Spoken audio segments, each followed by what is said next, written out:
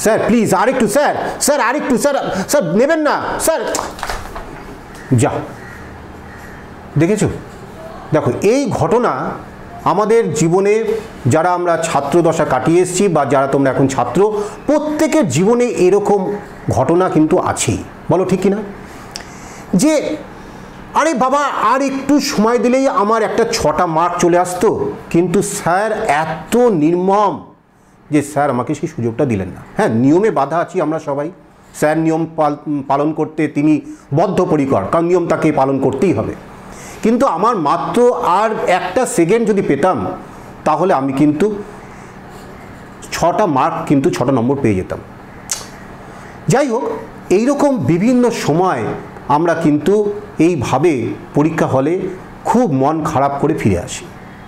Rapid ম্যাথের আজকের পর্বে ডিজিটাল সাম এমন একটা সাম করার টেকনিক আমরা শিখব, যেটা থেকে আমরা মুহূর্তে স্যার বলার আগে স্যার এই নিন খাতা, স্যার এই নিন খাতা, স্যার নিয়ে যান।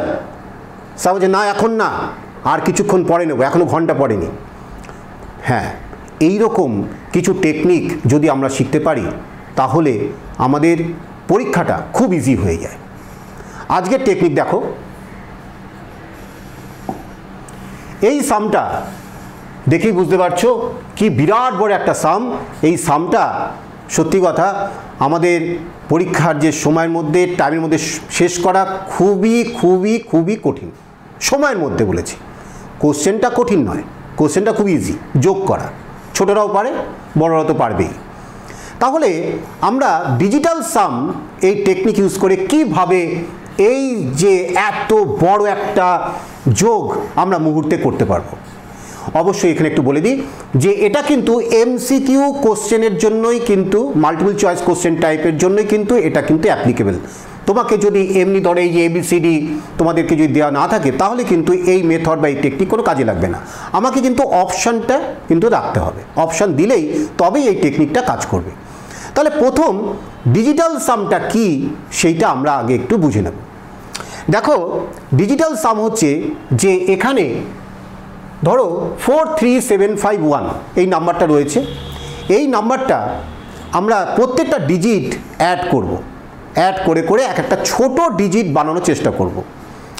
কিন্তু এখানে একটা জিনিস মনে রাখব যে, তোমরা সবসময় মনে রাখবে যে ডিজিটগুলোর যোগফল নয় হবে, সেগুলোকে যদি আগে খুঁজে পাও, তাহলে তোমার কিন্তু খাটনি আরও কমে যাবে। ব্যাপারটা কীরকম? দেখো, আমি একটা তোমাদেরকে আগে এক্সাম্পল দিয়ে বোঝাচ্ছি। ধরো four three seven five one দেখো ফোর থ্রি সেভেন ফাইভ ওয়ানের ডিজিটাল সাম বলতে গেলে four plus three seven seven plus seven fourteen fourteen plus five nineteen nineteen plus one that is twenty অর্থাৎ প্রত্যেকটা ডিজিটের সাম এবার টোয়েন্টি হয়েছে two plus zero that is two তাহলে এই যে সংখ্যাটার ডিজিটাল সাম হলো টু কিন্তু আরও সুন্দর তাড়াতাড়ি এই ডিজিটাল সামটা যদি বের করতে চাই, তাহলে দেখো ফাইভ প্লাস ফোর নাইন যখনই হলো, তখনই ওই দুটোকে আমরা ক্যান্সেল আউট করে দেবো। অর্থাৎ এই নয় সংখ্যাটা একটা কিন্তু খুব অদ্ভুত সংখ্যা। আমরা নয় নিয়ে পরে অনেক বিস্তর আলোচনা করব যে নয়, এমন একটা সংখ্যা যে নয়ে এসে যেন সব শেষ হয়ে যায়। আমাদের যে প্রথম যে দশটা ডিজিট তৈরি হয়েছিল জিরো থেকে নাইন অবধি যে দশটা ডিজিটের পরে পুরো নাম্বারটা দাঁড়িয়ে আছে, শেষ কিন্তু নয়। অর্থাৎ সবাই যেন নয় এসে শেষ হয়ে যায়। এবং পৌনপণিক সংখ্যা যারা জানো রেকারিং ডেসিমাল যারা জানো, তারা জানো যে একটা নয়ের ব্যাপার আছে। সবসময় যেন একটা কোথা থেকে নয় চলে আসে। এটা নিয়ে আমি পরে আলোচনা করব। দেখবে কত ইন্টারেস্টিং ব্যাপার যে নয় একটা কিন্তু খুব গুরুত্বপূর্ণ সংখ্যা এবং নয় একটা প্রত্যেকটা সংখ্যারই কিন্তু যেমন ধরো একটা পরমাণু, সেই পরমাণু আমরা জানি তার বাইরের কক্ষপথে আমরা জানি অষ্টক পূর্তি করতে চায়। অর্থাৎ আটটা ইলেকট্রনে তৈরি করতে চায় যাতে তারা নিষ্ক্রিয় মৌলতে কনভার্ট হয়, এগুলো আমরা জানি। যে যেগুলো আয়ন ফর্মে আছে, সবসময় চেষ্টা করে তারা আটটা বাইরের কক্ষপথে আটটা ইলেকট্রনে তৈরি করতে। আটটা ইলেকট্রন তৈরি করলে সেখান থেকেই তৈরি হয় বিভিন্ন তড়িৎযোজী সমযোজী বা ইলেকট্রোভ্যালেন্ট কোভ্যালেন্ট কম্পাউন্ড সেগুলো আমরা জানি। তাহলে ওখানে পরমাণু ক্ষেত্রে যেন আট, সংখ্যার ক্ষেত্রে কিন্তু নয়।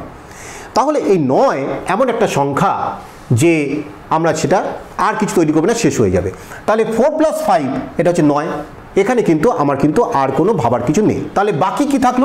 Three plus seven ten ten plus one eleven তাহলে এই তিনটে সংখ্যা যদি আমরা এবার অ্যাড করি, কারণ ফোর প্লাস ফাইভ নাইন হয়ে গেছে, তাহলে three plus seven plus one that is eleven এই ইলেভেন আমরা দেখছি ইলেভেন থেকে আমরা দুটো সংখ্যা তৈরি হচ্ছে তাকে যোগ করলে আবার পাচ্ছি টু তাহলে দেখো, এখানেও কিন্তু ডিজিটাল সাম টু হয়েছে বা ডিজিটাল সাম কিন্তু টুই হলো। তাহলে ব্যাপারটা হচ্ছে, এই টেকনিকটা মনে রাখবে যে ডিজিটাল সাম তৈরি করার সময় যে নাম্বারটা যে সংখ্যাটার ক্ষেত্রে আমরা যে ডিজিটাল সাম তৈরি করছি, সেই সংখ্যাটার মধ্যে যেগুলোর যোগফল নয়, সেগুলোকে প্রথমেই বাদ দিয়ে দেবো।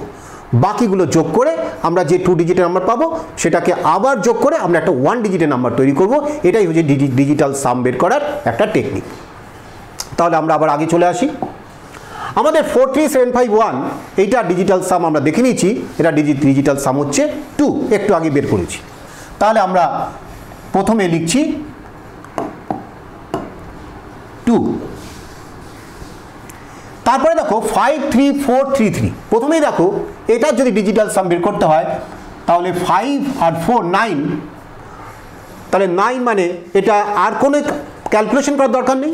আবার দেখো three plus three plus three nine তাহলে আর ক্যালকুলেশন করার দরকার নেই। তাহলে যখন শেষ হয়ে গেল, তখন ডিজিটাল সাম হলো জিরো তাহলে এখান থেকে একটা পাচ্ছি জিরো এবার দেখো, এই যে সংখ্যাটা, এর মধ্যে নয় কোথায় আছে? এই যে দেখতে পাচ্ছি সিক্স প্লাস থ্রি নাইন তাহলে এই সিক্স আর থ্রি নিয়ে আমার কোনো ক্যালকুলেশন করার দরকার নেই। আমাকে শুধু ক্যালকুলেশন করতে হবে five plus five ten ten plus two twelve এবার টুয়েলভ মানে হচ্ছে two plus one that is three তাহলে এর ডিজিটাল সাম হলো প্লাস থ্রি এর ডিজিটাল সাম হচ্ছে থ্রি এরপরে আছে two five six seven two five six seven two five six seven এখানে দেখো নয় তৈরি হচ্ছে yes seven plus two nine তাহলে দরকার নেই। তাহলে six plus five eleven eleven means হচ্ছে ওয়ান প্লাস ওয়ান টু তাহলে ডিজিটাল সাম হচ্ছে টু তাহলে আমরা এখানে লিখলাম plus two R three plus four plus two that is also we get nine here so এটা ডিজিটাল সাম হচ্ছে zero তাহলে প্লাস জিরো তাহলে অ্যাকচুয়াল ডিজিটাল সাম কত হলো? এই পুরো যোগফলটা ডিজিটাল সাম হয়েছে, দেখো two plus three five five plus two seven তাহলে ডিজিটাল সাম হয়েছে সেভেন এই পুরো সংখ্যাটার ডিজিটাল সাম হয়েছে সেভেন এইবার আমরা দেখব যে এ বি এই চারটে অপশানের মধ্যে কোন সংখ্যাটা ডিজিটাল সাম সেভেন তাহলে সেটাই হবে এইটার উত্তর। এইটাই হচ্ছে আমাদের টেকনিক তাহলে দেখো one plus zero plus seven এখানে কোথাও যদি নয় যদি তৈরি করা যায়, তাহলে খুব সুবিধা হয়। যাক, নয় পাইনি। Six plus four ten ten plus fourteen মানে সেভেন প্লাস সেভেন ফোরটিন তাহলে টেন প্লাস ফোরটিন হচ্ছে তোমার twenty four twenty four plus one that is হচ্ছে twenty five twenty five that means we get two plus five that is seven তাহলে always আমরা এখান থেকে পাচ্ছি হচ্ছে, আমরা ডিজিটাল সাম সেভেন তাহলে আমাদের আনসারটা হবে এ বাকিগুলো তোমরা ডিজিটাল সাম বের করে দেখতে পারো যে সেভেনের সঙ্গে কোনোটাই ইকুয়াল হবে না। সিক্স দেখো এখানে eight plus one nine cancel করে দাও। তাহলে থাকল six plus four ten ten plus seven seventeen seventeen we get seven plus one eight তাহলে এই ডিজিটাল সাম হচ্ছে এইট এইভাবে প্রত্যেকটা ডিজিটাল সাম যদি আমরা বার করি, দেখব কোনোটাই সেভেনের সঙ্গে ইকুয়াল হচ্ছে না, একমাত্র এ অপশানে যেটা আসছে, সেটাই হচ্ছে ডিজিটাল সাম সেভেন আর অরিজিনাল যে আমাদেরকে যে যে কোশ্চেনটা দেওয়া ছিল, তারও ডিজিটাল সাম সেভেন তাহলে আমরা আমরা বলতে পারি যে এর যোগফলটা হচ্ছে এ এতে যে এ অপশানে যেটা দেওয়া আছে সেটাই হচ্ছে এটার উত্তর। তাহলে দেখো কত চটপট এত বড় যোগটা না করে আমরা মুহূর্তে যদি এই টেকনিক ডিজিটাল সাম খুবই আধুনিক একটা সিস্টেম মডার্ন একদম পদ্ধতি এটা, এই সিস্টেমটা যদি জানা থাকে, তাহলে আমরা কত সহজে সহজে, সুন্দরভাবে, খুব তাড়াতাড়ি আমরা এটা আমরা করতে পারব। তাহলে তোমরা দেখতে থাকো। এই র্যাপিড ম্যাথ পর্ব খুব জনপ্রিয় হয়ে উঠছে এবং সকলেই র্যাপিড ম্যাথে অনেকে কমেন্ট করছ যে ভালো ভালো এরকম টেকনিক শিখে তোমরা অনেকে উপকৃত হয়েছো। আর যারা উপকৃত হয়েছো প্লিজ তোমরা সাবস্ক্রাইব করে দিও। আর একটু কমেন্ট করো যাতে তোমাদের থেকে আমরা মোটিভেশন পেয়ে নেক্সট ভিডিও তো আবার বানাতে পারি। আজকে পর্যন্ত থ্যাংক ইউ